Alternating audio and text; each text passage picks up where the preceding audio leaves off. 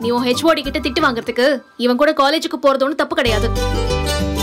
அவங்க கோவப்படுறதோட நிறுத்திக்க மாட்டாங்க.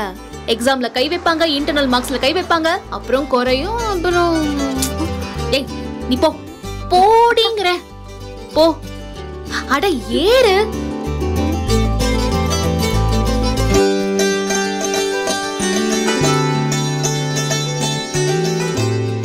அண்ணி நீங்க எப்படி போவீங்க? ஆ, நான் உன் அண்ணனுக்கு கால் பண்ணி வர சொல்லிருவேன். அவர் வந்து என்ன அழைச்சிட்டு போயிருவாரு. சரிங்க அண்ணி. சரி கிளம்புங்க. ஆ அப்புறம் என் தங்கச்சியை பத்திரமா கூட்டு போங்க. ஆ. போயிட்டு வா. பாய் ராஜி. பாய் டாடா போயிட்டு வாங்க. பாய் நமக்கும் டைம் ஆகுது.